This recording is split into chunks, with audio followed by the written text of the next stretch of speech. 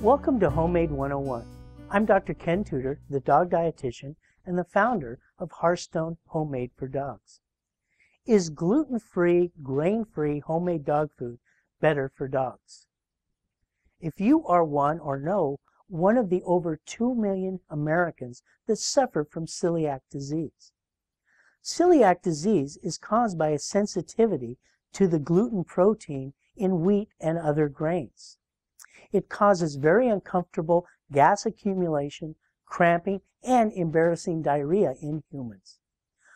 Dog owners often think that the same symptoms in their dog are a result of gluten sensitivity. Actually, that's not true. With the exception of one genetic line of Irish setters, dogs do not have celiac disease.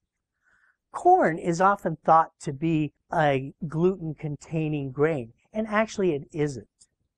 Corn contains a starch much like potatoes and tapioca and rice, and actually is used in gluten free diets.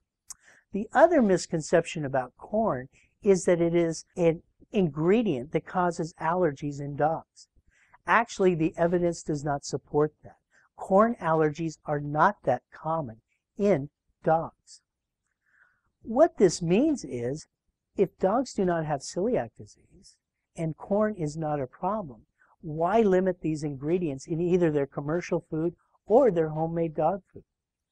Commercial, grain free, gluten free diets are very expensive. Plus, the carbohydrates they use to substitute for wheat, other grains, and corn are high in fiber, which reduces the digestibility of other nutrients in the diet. So quite frankly, there's no reason to limit these ingredients in either your commercial dog food or your homemade dog food. And there's an easy way to test whether your dog has gluten sensitivity or corn sensitivity. Merely add a quarter to a third, even a half a cup of pasta to their food every day for three to four days. Do the same with cornbread. If you do not see a change in their stool after the addition of these ingredients, then your dog does not have gluten sensitivity and is not allergic to corn. And there's no reason to limit these grains in their diet. I look forward to seeing you on other pages of the website.